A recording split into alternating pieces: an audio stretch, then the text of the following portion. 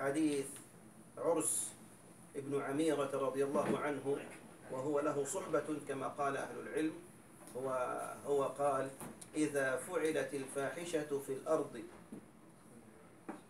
فمن شهدها فأنكرها أو أبغضها كمن لم يشهدها ومن لم يشهدها فرضيها كان كمن شهدها شفتم كيف؟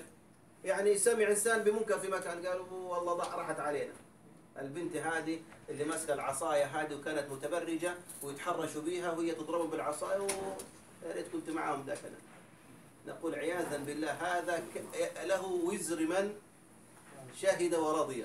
الله يعافينا وإياكم وإنسان رأى منكرا أمامه فقال أعوذ بالله. الله يعافينا. اللهم عافنا وابتلانا الحمد لله عافنا وابتلانا به. وكره ذلك كان كمن لم كمن لم يشهدها. فلا يضرك أخي الحبيب أن ترى منكرا فأن تأمر وأن تنهى عنه وإن كنت أنت تأتيه. يكفي أنك أنت اللي بتأتيه بينك وبين الله عز وجل. كل أمتي معافى إلا المجاهرين ويكفي ألا تجمع عليك إثمين إثم الفعل وإثم عدم النهي عنه.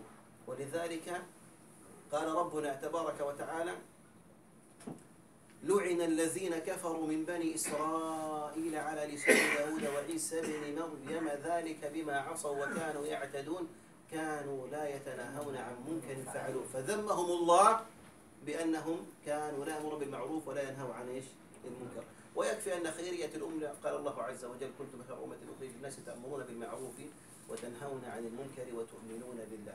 لكن الكمال إن شاء الله عز وجل والكمال عزيز هو أن تكون مصدقا بفعلك قول بقولك فعلك. هذا هو الأكمل إن شاء الله. لكن لا يمنعك ذلك من أن تأمر وأن تنهى وإن كنت لست على الصورة التامة الكاملة. هذا ما أردت أن أبينه حتى لا يشتبه علينا ذلك أيها الكرام الفضلاء.